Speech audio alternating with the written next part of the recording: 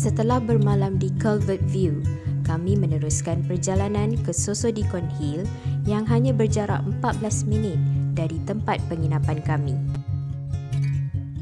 Bukit Sosodikon memulakan operasinya pada jam 6 pagi dan menutup operasinya pada 5 petang.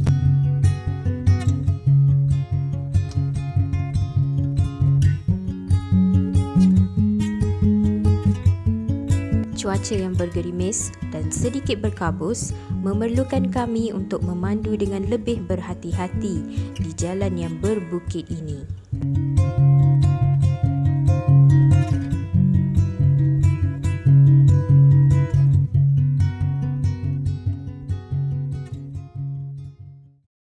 Kami memulakan pendakian kami secara santai.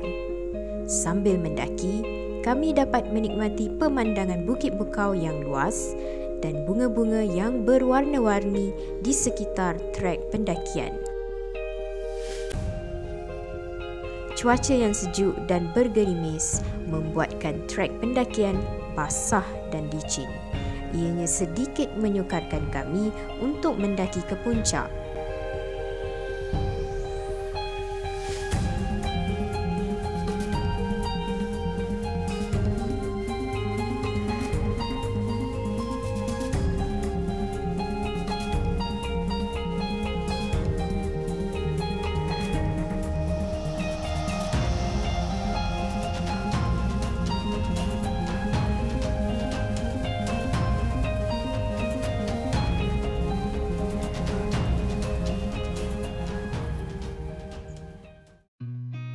Setelah 20 minit pendakian, akhirnya kami sampai ke puncak.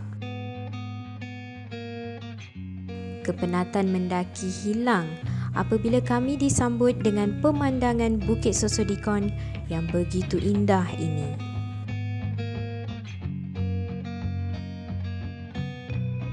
Cuaca yang dingin dan berkabus menambahkan lagi ketenangan di atas puncak Bukit Sosodikon ini.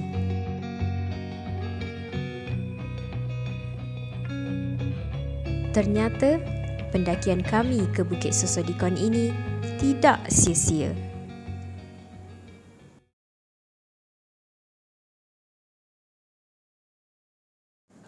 Destinasi kami yang seterusnya adalah air terjun Kipungit. Air terjun Kipungit ini adalah salah satu air terjun yang ada dalam kawasan Taman Rekreasi Poring Taman Rekreasi Poring ini memulakan operasinya pada jam 8 pagi sehingga 3 petang.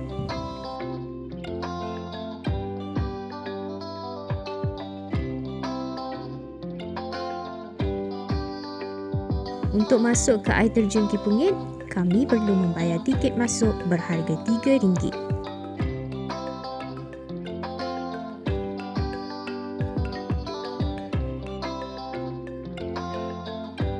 Air terjun Kipungit ini merupakan pilihan pengunjung untuk berkelah dan bermandi-manda.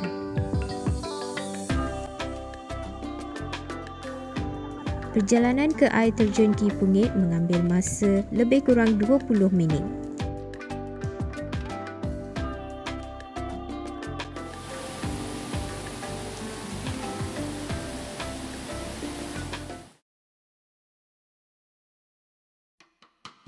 Hari ketiga di Kundasang, kami memilih untuk makan di BW Bus Restaurant yang beroperasi dari jam 10 pagi hingga 8 malam.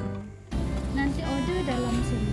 Order dalam. Oh, Lepas tu baru ambil tempat. Dan nanti dia bagi tahu juga pasti mana yang order masuk. Oh, okey. Ah. Restoran ini menyediakan pelbagai jenis makanan barat sebagai menu utama.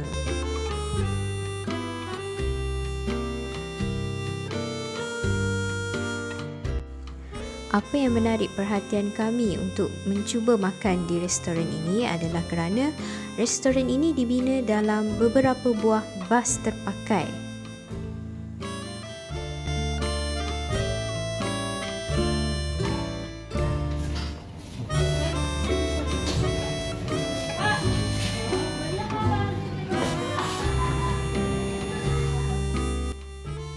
Sambil makan, kami dapat menikmati pemandangan yang begitu unik di restoran ini.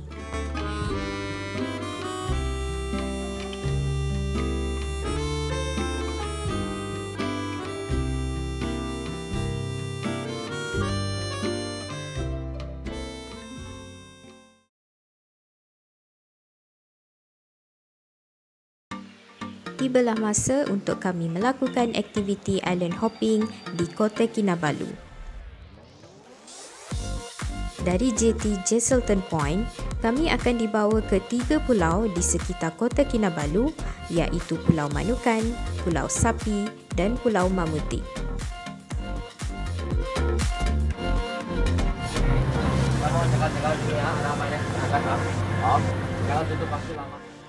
Kami memilih untuk melakukan aktiviti parasailing dan snorkeling di Pulau Manukan. Untuk melakukan aktiviti snorkeling di Pulau Manukan ini, kami perlu berhati-hati kerana ada sebahagian dari kawasan pantai mempunyai banyak landak laut.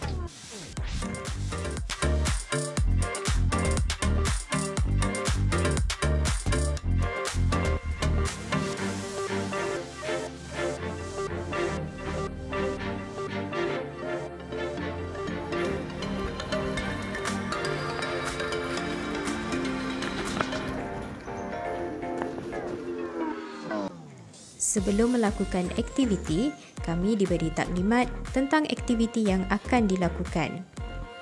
Kami juga diingatkan supaya tidak melakukan aktiviti snorkeling berhampiran kawasan pantai yang mempunyai landak laut.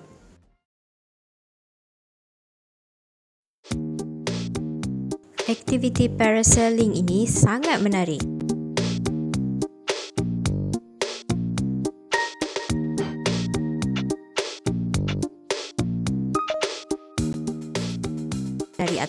Kami dapat melihat pulau-pulau yang ada di Taman Tunku Abdul Rahman Park ini. Dan kami juga tak sangka yang kami akan sengaja dijatuhkan ke atas air.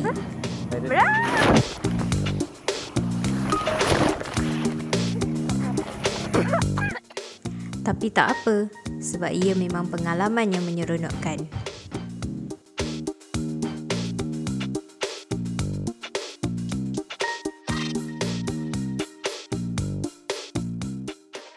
Setelah beberapa jam di Pulau Manukan, kami pun pulang ke Chesterton Point.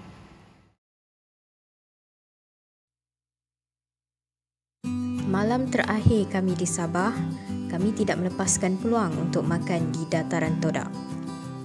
Dataran Todak adalah tempat makan popular di Sabah dan menu popular di sini ialah lobster. Kami memilih gerai Umi dan family untuk makan malam kami memang puas hati bila dapat makan lobster yang sedap di sini.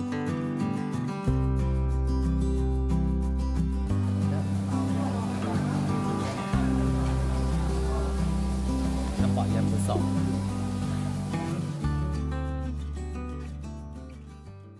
Berakhirlah percutian kami di Sabah dari Kundasang ke Kota Kinabalu selama lima hari empat malam banyak pengalaman menarik dan menyeronokkan yang telah kami dapat dari percutian kami kali ini.